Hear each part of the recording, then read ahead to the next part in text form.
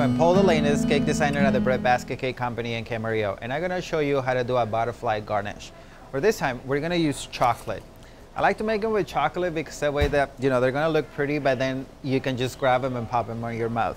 So I have three different colors of chocolate. I have a light brown, a pink, and a dark brown. We're gonna use the dark brown for the body and the other two colors for the wings. So what you start doing is with the dollop, you make like a big teardrop. You, the, you keep on doing that, and then you make another one underneath of it to connect them. So they kind of start doing the butterfly wing effect.